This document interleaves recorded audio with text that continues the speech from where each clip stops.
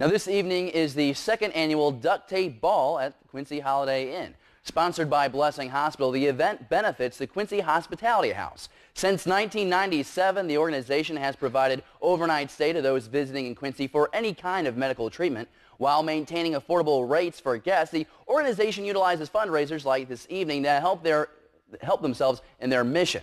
Funds raised tonight are fully dedicated to the organization's operating expenses.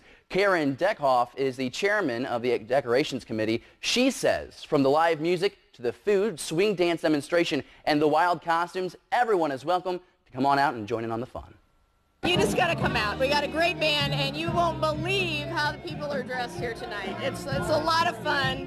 We have just a lot of fun stuff coming on, and we'd love to have everybody come out and see us.